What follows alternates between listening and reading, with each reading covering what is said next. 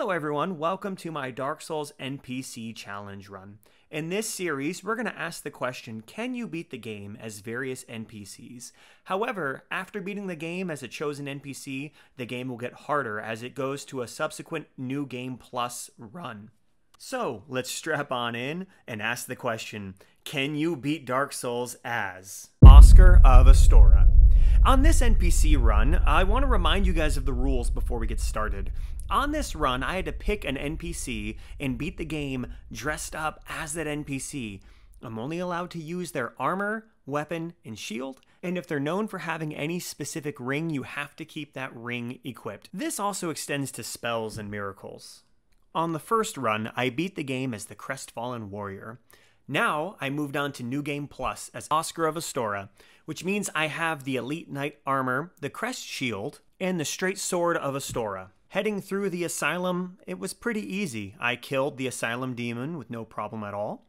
And then I headed to Firelink Shrine, and the first thing I did was I headed down to the New Londo depths and grabbed the Firekeeper soul. Running through this world, I felt like a superhero. I felt like I was Captain America and I was some sort of super soldier.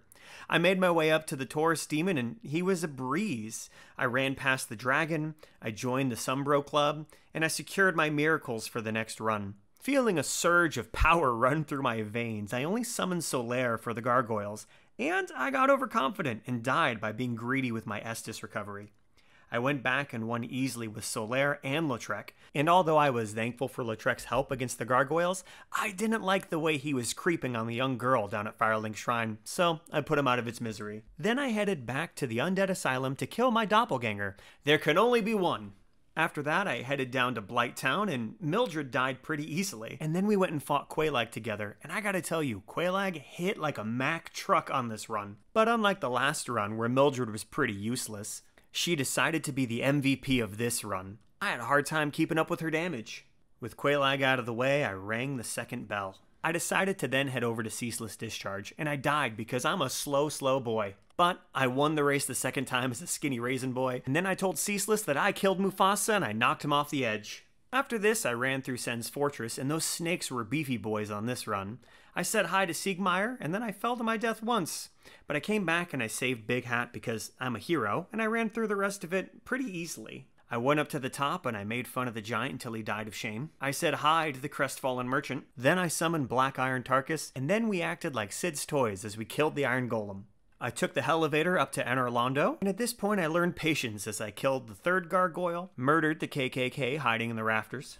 I killed the last gargoyle, and I put on some good music and jammed my way through a few archer runs until we made it. At this point on the run, I was having the time of my life. I was blasting through the enemies, I was jamming through the challenges, I was in a good mood. I kept trying to put the game down and take a break, but I just kept coming back for a little bit more. Before fighting Ornstein and Smough, I had to go save Siegmeyer, and I killed three Silver Knights.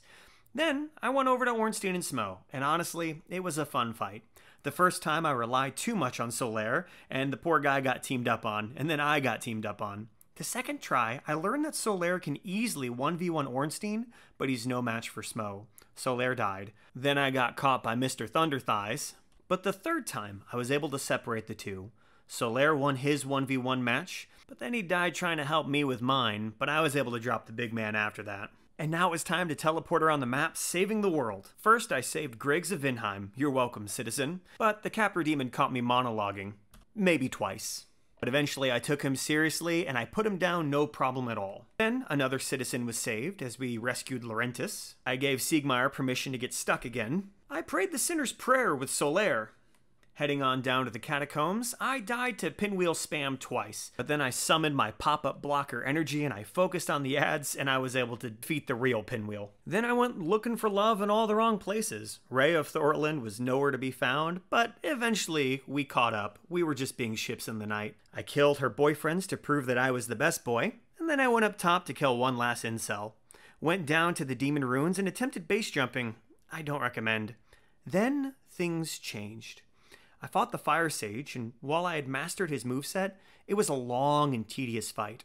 I felt like it took forever. Then Solaire and I tag teamed the Centipede Demon, and this guy just kind of felt like a chore as well. I'd already learned all of his movesets and all the skills to beat him on the last run, and this time it was just took forever. The longsword of Astora was just not a good weapon. But with those road bumps out of the way, I killed a witch, and then I killed My Chemical Romance, and I got lost in Izalith for a lot longer than I'd like to admit. Finally, Solaire became the sun. I feels bad. Um. Then I used fire bombs to save Siegmeyer. Then I wrapped up this horrible place by cheesing the bed of chaos with some fire bombs once more. This time I got the bed of chaos on my first try, which felt amazing. After that, I headed up to Duke's Archives. I killed one piggy, then another little piggy went to market, and then I had my obligatory death to Seath. I condemned Big Hat Logan to death as I forgot he was alive, but then I remembered him and I went back down and I chatted with him in his cell. I easily ran through Duke's archives, but I found I lacked the strength to actually kill any channelers before they could teleport away. Uh, I saved Sieglinde after practicing a lot of patience against a golden golem, and then I was overconfident against Seath, and I died once again. Finally, I learned the new definition of patience as I nuzzled into Seath, and it took forever, but I finally whittled him down and killed him. Then I went down to the Tomb of Giants. I watched a dog jump to his death. Then I watched a Black Knight jump to his death. And then I fought Nito, and it just took forever. All of these bosses are taking forever. Ornstein and Smough was the last fun fight I really had in this run. I went down to New Londo Ruins, I grabbed the key, I drained the lake, I gazed at death. I grabbed a very large ember. I headed over to Sif and I killed the sad puppy. It didn't take as long and was an easy fight. I simply had to hide inside his legs and whack away until I started crying. But I wiped my tears and put on my new bling. Then I fought the Ten Kings. It took forever. Finally, after they were defeated, I remembered Big Hat Logan. I totally forgot about him. So I ran back and saw he was gone, and I searched all over Duke's archives until I found him in the library. One last person to save. I killed the Hydra, I killed the Golden Golem, and saved Dusk. There was nothing left to do but head down to Gwyn. He gave us the typical trouble, but we put him down in the end. And that's the game. How was it? Well, for the first half of this game, I felt overpowered. I felt like a super soldier, Captain America superhero. I was running around the map, I was teleporting around, I was saving people. It was amazing. But the second half of the game was lame. This longsword of Astora is not a fun weapon, and while I have my same reservations for the Sunlight Straight Sword of Solaire, at least on the next run I'm gonna have those Lightning Bolt miracles. So we answered the question Can you beat New Game Plus as Oscar of Astora? Yes.